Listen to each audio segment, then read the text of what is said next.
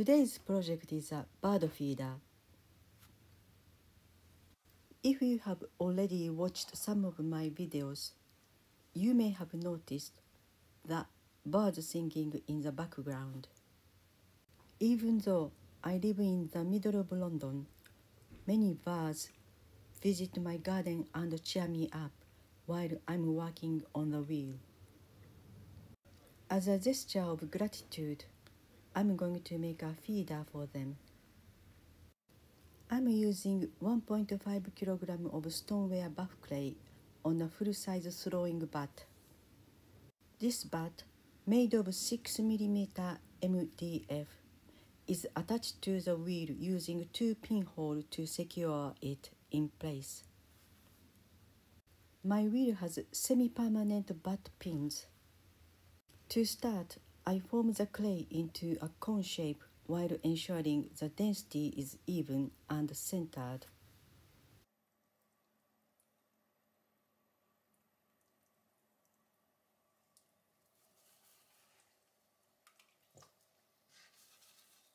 Using both hands, I squeeze the bottom of the clay and shift the edge of my palms upwards. My left hand is slightly higher than the right hand creating a spiral form that naturally lifts the clay.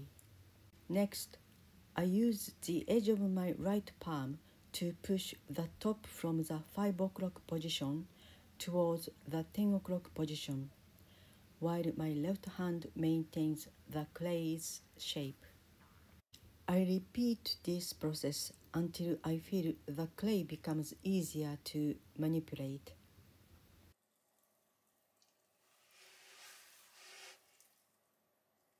Once the clay is ready, it's time to create the base disc.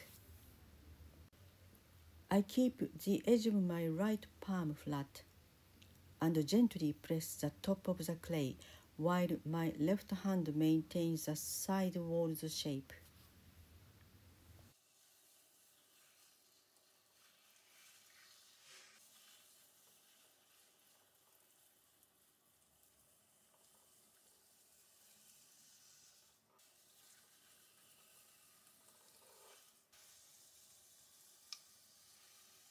As the disc becomes larger, I need to hold my right hand with my left hand to ensure smooth horizontal sliding. Once the base reaches the desired size, I make a center hole using my right middle finger with support from my left fingers. I'm going to make a ring, so I push my right middle finger down to the throwing bat.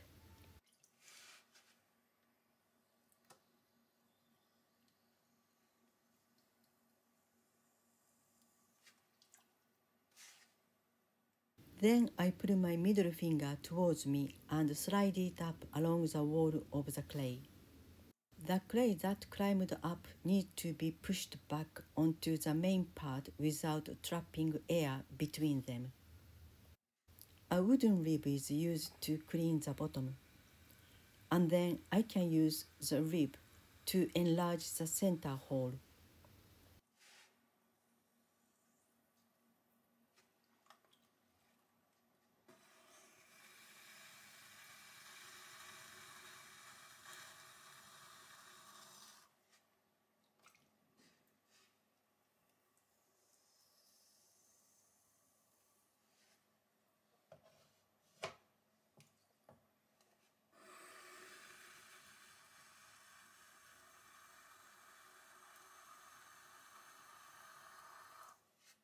I add extra water to the center hole to expedite the process.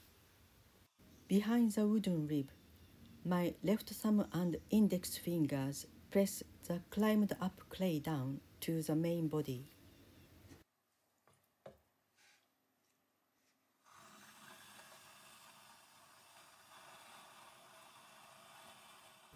I repeat this until the ring becomes around 25 cm in diameter. This size can be adjusted to your preference.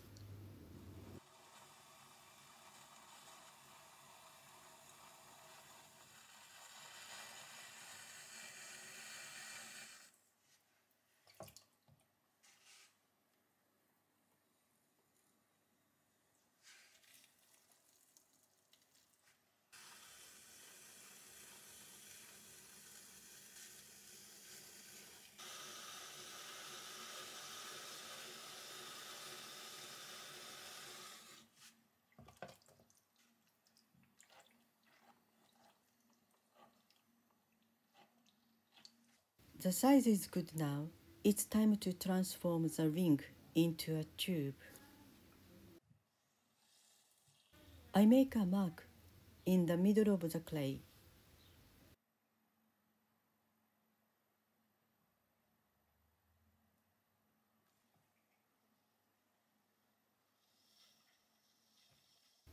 Then I slowly press straight down on that mark. The walls start to appear on both sides of my right index finger. First, I stretch the inside wall. My right ring finger forms a hook shape to push the bottom of the wall. The outside wall gets in the way, so I need to adjust my hand and finger positioning. It may be a bit tricky at first, but you will quickly get used to it. I stay at the top for a while to compress the edge.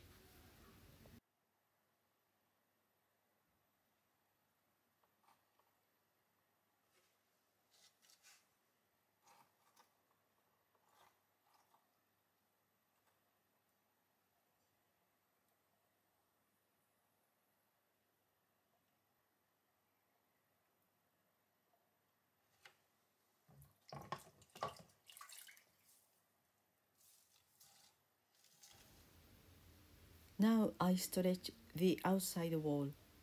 I need to be careful not to go outwards. It's better to stretch the wall straight up. Once it's opened too much, bringing back this thin wall straight is not easy.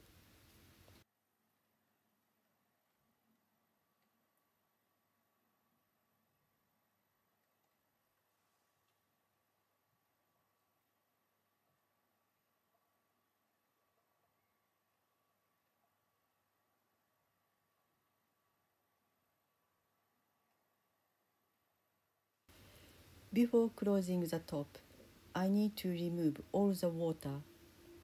A thinly cut sponge with long sticks is useful for this. The two sticks pinch the sponge in the center to prevent it from spinning. I'm going to close the top. I slowly bring the two walls together. Once the top is sealed, the trapped air inside holds the shape, allowing me to take the time to make a smooth joint.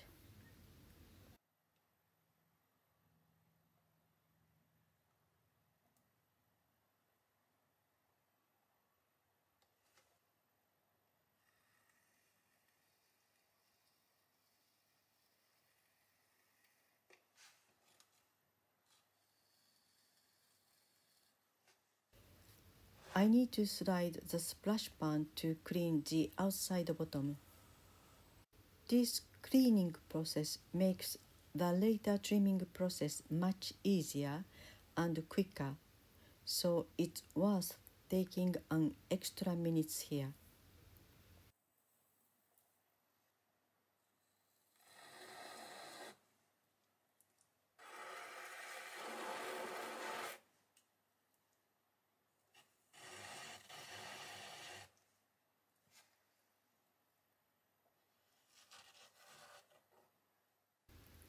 The air vents are important.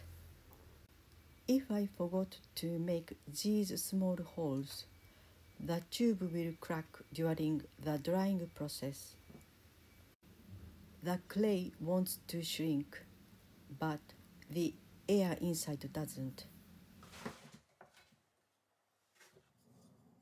I leave the pot overnight to dry until it reaches the leather hard stage. I attach the tube to the wheel using skimmed clay.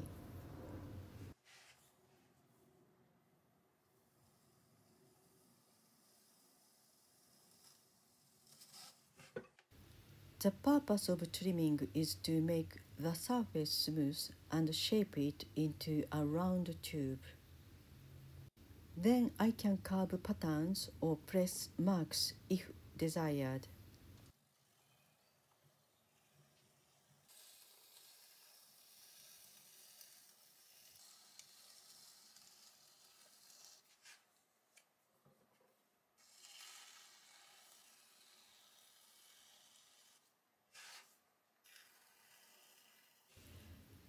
I slide the metal kidney between the tube and the bat.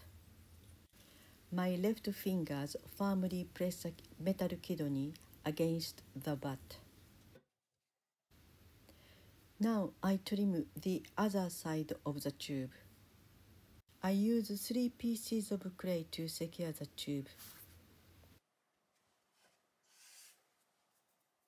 This side has more clay. I trim the corners with a loop tool to maintain a continuous round shape.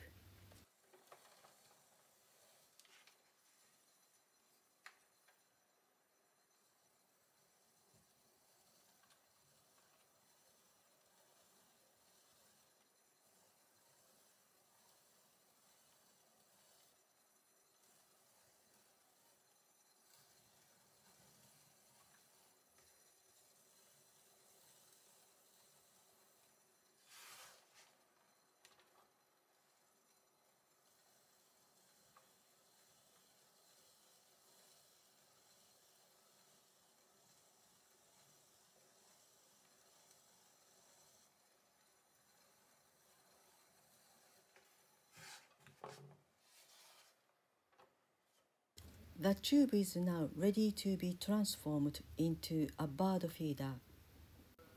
I carefully flatten one point of the tube. This part requires extra care to avoid breaking the tube.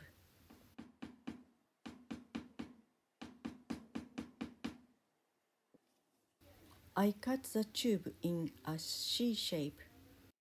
I want to keep the top hole facing downwards to prevent rain from entering.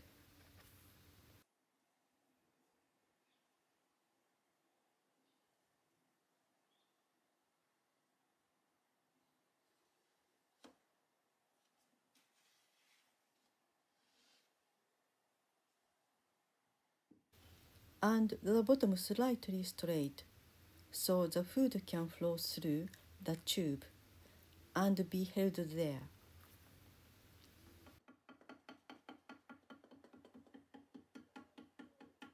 I clean the end hole to ensure it is clear.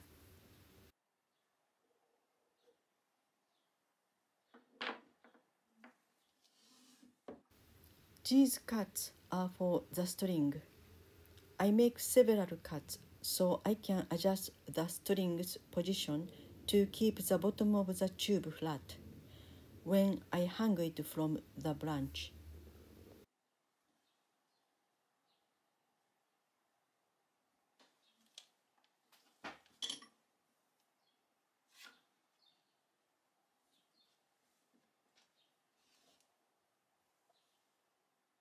Thank you for joining me today. I hope you enjoyed watching this pottery process. I'll see you in the next pottery video. Happy creating!